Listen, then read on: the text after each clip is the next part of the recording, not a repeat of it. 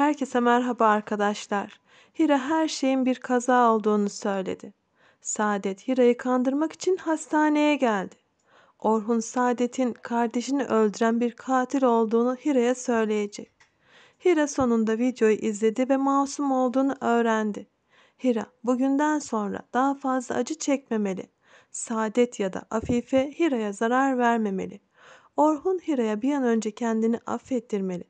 Benim gibi düşünenler videoyu beğeni butonuna bassın lütfen. Afife Hira'nın Nihan'ı öldürmek için zehirli çörek yaptığını düşünüyor. Bu nedenle Afife Hira'ya zarar vermeye devam edecek. Afife ve Eda bulduğu her fırsatta Hira'nın canını yakmak isteyecek. Orhun her defasında Hira'nın yanında olacak ve Hira'yı koruyacak. Orhun Saadet'in yaptığı her şeyi Hira'ya anlattı. Saadet Orhun'dan intikam alacağını söyledi. Anlaşılan Saadet Hira'ya zarar vermek isteyecek ve Hira'yı kaçırmak isteyecek. Orhun'un elinde silahla çekilmiş kamera arkası fotoğrafı vardı. Orhun bugünden sonra Hira'nın hep yanında olacak.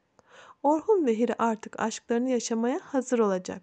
Ama öncesinde Orhun'un Hira'ya yaptığı kötülüklerin telafi etmesi gerekiyor. Sizler de düşüncelerinizi bizimle paylaşmayı unutmayın lütfen.